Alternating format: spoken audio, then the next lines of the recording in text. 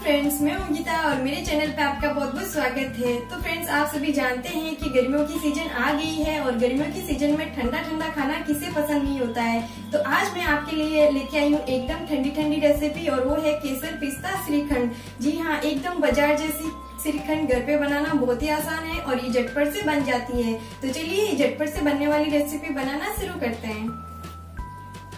श्रीखंड बनाने के लिए हमने क्या लिया है? देखते हैं। ये मैंने आधा लीटर एकदम फ्रेश दही लिया है। दही बिल्कुल खट्टा नहीं होना चाहिए श्रीखंड बनाने के लिए, वरना वो बिल्कुल अच्छी नहीं बनेगी। थोड़ा सा दूध लिया है केसर को भिगोने के लिए। ड्राई फ्रूट लिया हमने काजू, बादाम और पिस्ते। इसको हमने बारीक काट लिया है। चीनी ली है हमने टेस्ट के अकॉर्डिंग ये पीसी हुई चीनी है। इसको हमने अच्छे से मिक्सी में पीस लिया है। इलायची पाउडर लिया है। तो चलिए अब शुरू करते हैं। तो सबसे पहले हमने एक बर्तन ले लिया है और उसके ऊपर रखेंगे ये इस तरह की छलनी जिससे हम पानी वगैरह छानते हैं। यदि आपके पास इस तरह की नहीं है तो आप कोई भी कॉटन का कपड़ा ले सकते हैं, उसके ऊपर डाल के रख सकते हैं। तो इसके ऊपर रख देंगे और इसके अंदर हम डाल देंगे ये दही। और दही को हम कम से कम आधे से पौन घंटे तक इसको इस तरह से पानी निकलने के लिए, इस तरह से आप देख सकते हैं, इसका सारा पानी निकल जाएगा इसके अंदर।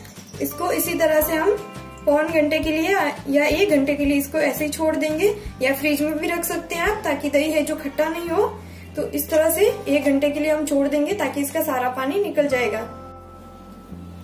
तो फ्रेंड्स, लगभग एक घंटा हो गया है और हमारा दही है जो अच्छे से, ये देखिए, गाढ़ा हो गया है। इस तरह से, इस तरह का ही चाहिए हमें और इसका एक्स्ट्रा पानी था, वो सारा निकल गया है इसके अंदर। ये देखिए, इस तरह से अब इस पानी को हम हटा देंगे और दही को एक बर्तन में शिफ्ट कर लेंगे। तो दही को हमने एक बाउल में शिफ्ट कर लिया है और इसको अच्छे से चम्मच से थोड़ा सा मिक्स कर लेंगे हम। ज़्यादा नहीं करना है, वरना ये पतला हो जाएगा। थोड़ा सा अच्छे से मिक्स कर लेते इसको।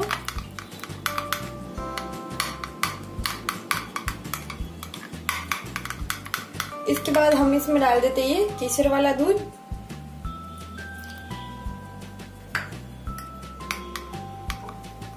इसको भी अच्छे से मिक्स कर लेते हैं इसके साथ।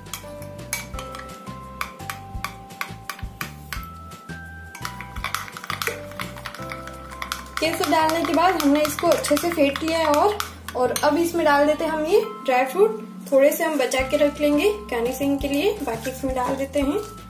और साथ ही हम इसमें डाल देते हैं थोड़ा सा इलायची पाउडर इलायची पाउडर से इसका टेस्ट है जो बहुत अच्छा आता है और साथ ही अब डाल देते इसमें चीनी।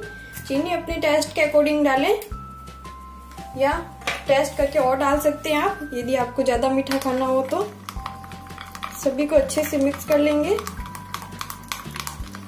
गर्मियों के सीज़न में श्रीखंड खाना किससे पसंद नहीं है? सभी को बहुत पसंद आती है और खाने में बहुत अच्छी लगती है।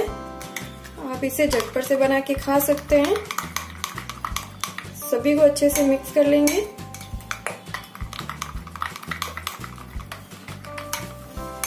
तो ये बनके तैयार है। अभी हम इसको एक दूसरे बाउल में सर्व कर लेंगे।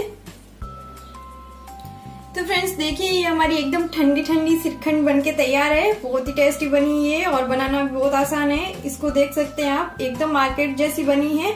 और इसको आप इजीली घर पे बना सकते हैं। कभी भी ये सबको बहुत पसंद आती है और खास कर ये गर्मियों की खास रेसिपी है। गर्मियों में इसे ठंडा ठंडा खाए, बहुत अच्छी लगेगी। तो फ्रेंड्स वीडियो पसंद आए तो वीडियो को लाइक करें। चैनल पे नए हैं तो चैनल को सब्सक्राइब करना बिल्कुल ना भूलें। फिर मिलेंगे एक नई रेसिपी के साथ। जब तक के लिए बाय